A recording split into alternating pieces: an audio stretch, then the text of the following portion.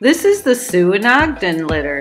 Sue is a yellow lab and Ogden is a black lab. They have five puppies, three yellow and two black. They are about two weeks old.